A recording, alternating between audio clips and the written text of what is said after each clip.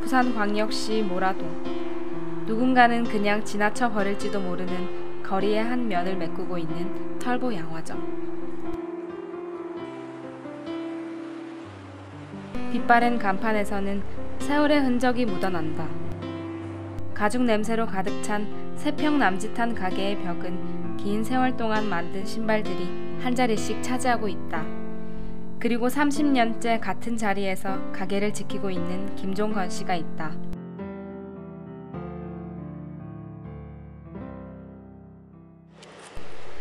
어릴 적부터 다리가 불편했던 아저씨는 일을 배우기 위해 고향인 삼천포를 떠나 부산으로 왔다. 저 동네 국립재활은 그 장애인들만 모아놓고 기술 가르치는 학원이 있었어. 그 국가에서는요. 어, 구두하고 막 목공하고 이제 철공 여러 가지 있는데 나는 구두 택배가 앉아서 하는 거니까 다리 불편하니까 앉아서 하는 거 그게 편해서 그거 시작해가지고 향토 예비군이 창설된 1968년 김종건 씨는 서울로 올라가 중고 군화를 수선해서 예비군에게 판매하는 일을 했다. 하지만 몇 년 후 예비군 신발을 국가에서 보급하는 바람에 일거리가 없어져 다시 부산으로 내려오게 된 것이다. 이건 거의 한 20년서부터 썼지. 예. 제일 많이 쓰는 독수리 주둥이 맥주 생겼잖아요. 그거 안 쓰고 뭐 어, 우레탄? 우레탄으로. 예. 그 근데 저 높은 거 없습니까? 좀 두꺼운 거. 뜨거운 애들이 예. 소리가 나 소리가 나. 어디서 해? 이거 몰라 이거 걸어가면 소리가 난다 짤랑짤랑. 요리조리 신발을 살펴보더니 금세 뚝딱 고쳐준다. 혜수야, 음, 그게 됐죠. 이게 여사님이 일을 잘 하- 꼼꼼하게 잘 하시니까. 이것도 이제 신다가 창이 망가졌어. 떼버리고 쇠창으로 바꿔주는 거. 맞추는 게 내는 주 위주로 해야 되는데 꽂히는 게 하나씩 안할 수도 없는 거. 그래서 뭐 했는데 뭐, 뭐 하고 행기가 개한다고. 그래가지고. 여기 오니까 일찍도에 그래서 내가 어디 술을 안 먹거든. 나 사람도 술 취해가지고 뭐 노래방에 사는 내가 안 가고 와버렸어 아, 술을 안 드셨어요? 술 와, 아니 좀 뭐 날씨 덥고 이러니까 예. 못 꽂히게. 둘의 이야기를 들어보니 손님은 아닌 듯 싶다. 그래. 오랫동안 가게를 하다 보니 가끔 이렇게 들리는 사람들도 있다. 놀러 왔다 가시는 거예요? 이제 밥 먹- 밥 먹으러 가야지 저녁 9시. 양화점의 문을 닫을 시간이다. 아저씨는 일요일 하루를 제외하고는 아침 8시에서 저녁 9시까지 매일 가게 문을 연다.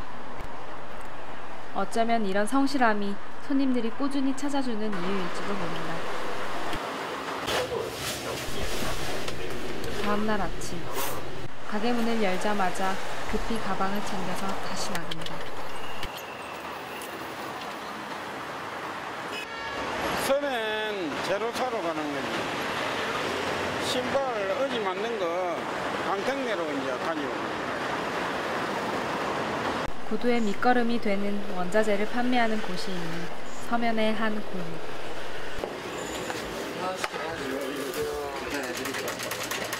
가요.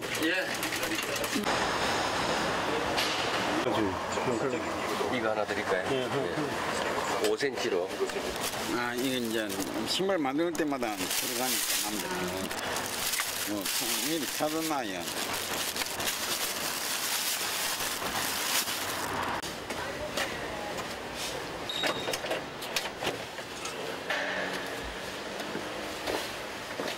완성된 신발은 광을 내야 비로소 상품으로서 가치가 생긴다. 그다 광택 내려고 신발 갖다 놓은 거예요. 이제는 가게로 돌아가나 싶었더니 또 다른 곳으로 향하는 버스를 탄다. 며칠 전 주문해놓은 last를 찾으러 왔다.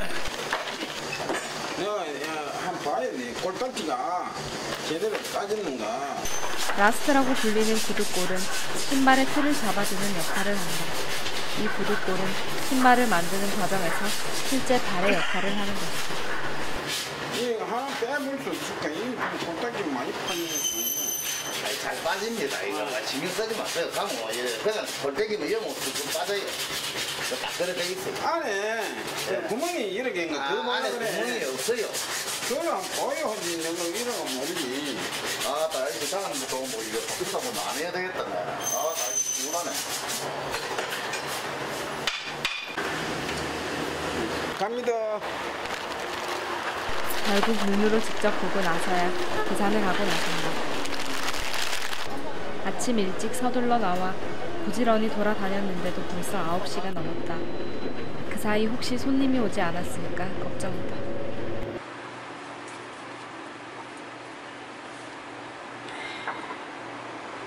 가게에 돌아오자마자 작업복으로 갈아입고 다시 구두골을 검사한다. 구두골은 신발의 모양을 좌우하기 때문에 절대 소홀히 할 수 없다.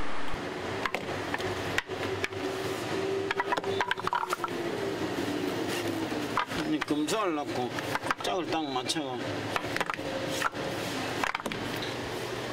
신발 만들어가 이제 신발을 뺄 때에 이 가다를 뺄 때 이게 잘 빠져야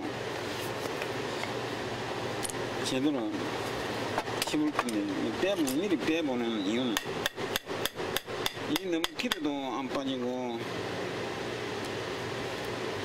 이런 게 없어야 되는데 이게 공기가 들어갔어. 이 깎아 차이 가다가 야물 텐데. 하나하나 검사를 다 끝낸 후 신발을 만들기 시작한다. 라디오만이 아저씨의 유일한. 구두의 윗부분인 가피를 만들기 위해선 먼저 재단을 해야 한다.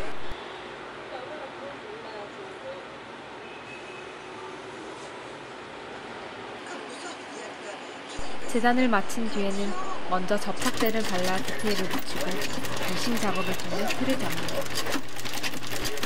가피는 직접 만들기도 하지만 재료 판매상에서 사오기도 한다.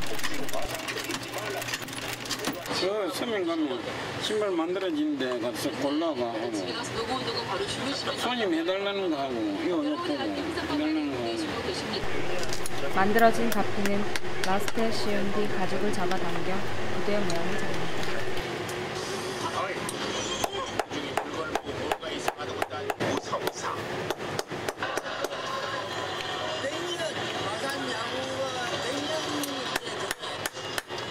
못 빼고 뭐그 원투 치료가 떠들고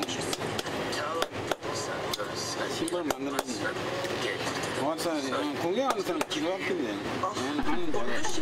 이렇게 모양을 잡는데 웅크리고 앉아 쉬지 않고 못질을 하니 한켤 내에 채 한 시간도 걸리지 않는다.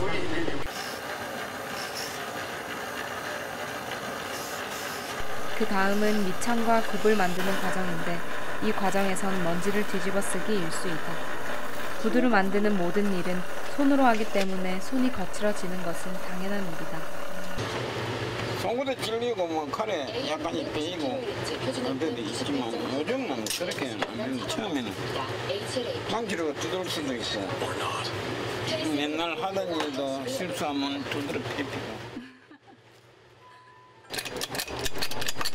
밑창을 붙이고 나면 모양이 틀어지지 않도록 24시간 동안 잘 말려야 한다.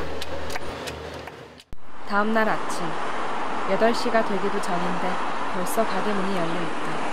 신호등 건너온 게 7시거든요 어제 만든 신발의 밑창을 꿰매어 붙이기 위해서다. 밑창을 다는 작업엔 두 가닥의 굵은 실과 송곳 모양의 바늘만이 사용된다. 마지막 작업에서 실수를 하게 되면 신발의 모양이 틀어질 수 있기 때문에 집중해야 한다. 서면 가면 기계로 구매해 주는 데가 있어 아리안스 손으로 바느질을 하는 것이 기계보다 느릴지는 몰라도 정성을 담아 세상에 단 한 켤레뿐인 신발을 완성한다. 이렇게 바느질을 마친 신발은 광택을 내고 돌아온 뒤에야 주인을 찾아갈 수 있다. 보기 아름다운 장미꽃은 사람들이 꺾어가는 데 비해 그리 아름답지 않은 들꽃은 많이 모여 아름다운 풍경을 만들게 된다. 비록 지금 내 모습이 화려하지 않고 세련되지 못하다 하더라도 주변과 자연스러운 조화를 이루어 살면 도리어 자신의 삶이 위대해질 수 있다. 애들 공부시키고 뭐 다리 불편했는데도 안 놀고 일할 수 있는데 음, 그래 열심히. 그 열심히 하니까 손님들도 꾸준히 찾아주고 애도 먹고 살고 집도 한 채 사고 어.